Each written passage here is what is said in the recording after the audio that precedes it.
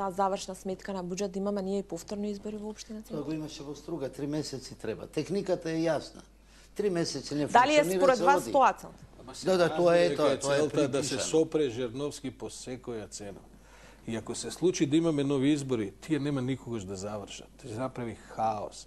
Разбирате ли дека целта на ВМРО ДПМН е на никаков начин да не може градоначалникот и советот легитимно да работи да одлучуваат. Откако е седнат од изборите до денес, ја мислам дека немаат еден ден, еден ден немаат. Дали се паркинзи, дали се кршења джамови, дали се инспекции, дали се тендери, па секој што ќе се јави на тендер му пуштаат инспекција во фирмата. Дали е сечење дрва, дали е апсење пресарач. Еден ден немаат мир. Зашто? Затоа што граѓаните во центар одлучија да одберат некој кој не е ВМРО.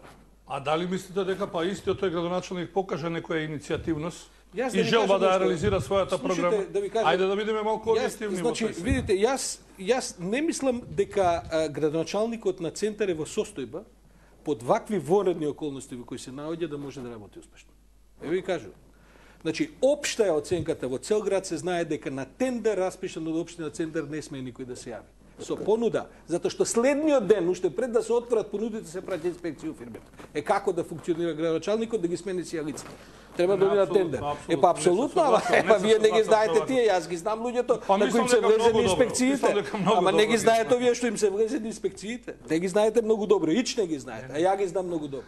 Не, е точно. Е, точно е, точно е. Апсолутно е, тоа е е проблем. Е, точно. е, луѓе. Кој ќе ви влезат у вашата фирма, ако имате, ќе видите дека е точно. Кој ќе ви уценат вас, ќе видите дека е точно, кој ќе го апсат брат ви, ќе видите дека е точно. Имате ли брат, се извинувам, зборувам како метафора. имам брат. Сакам да ви кажам. Значи, Ама немам знаете, фирма, Сите во се. Македонија седат викат не е точно. Е, кога ќе им влезат дома, како што на сите им влегуваат дома, се вика, и, абе, види ова стварно точно било.